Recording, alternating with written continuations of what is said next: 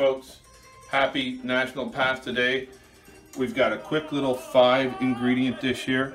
Joseph's roasted butternut squash ravioli, pumpkin seeds, butter, sage, and the Arla Tres del Grana Padano.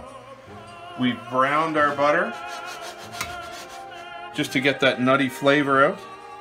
I'm just gonna turn it up a little bit just to heat it up a little bit here.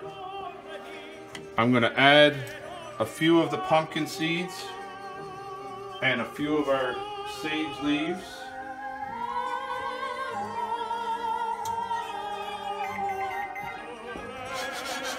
Just to bring out a little bit of the flavor.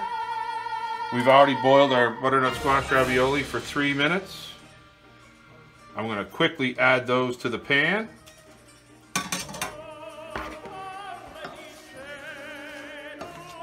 Give it a toss to coat the ravioli with that nice brown butter.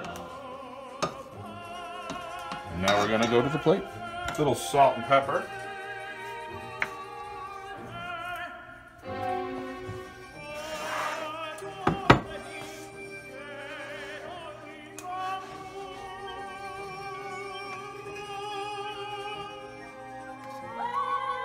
Smells delicious.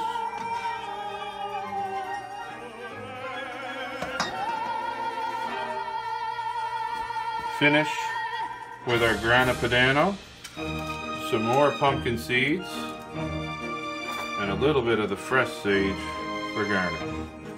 Enjoy folks. Happy National Pasta Day.